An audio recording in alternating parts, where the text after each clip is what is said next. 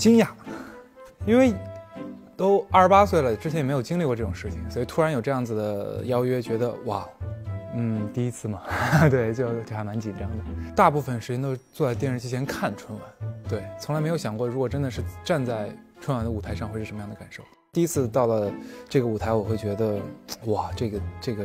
LED 这个灯光，这个所有的美术设计，所有的，呃，这些厉害的舞蹈演员、杂技演员、魔术演员，或者是相声小品演员，大家都好棒！大家在这一年聚在这里，然后在这个舞台上去呈现大家的平生所学的东西，我觉得其实是一个非常好的、非常好的一次团聚。对，当家人知道我要上春晚这件事情的时候，其实他们也发了一些他们的一些。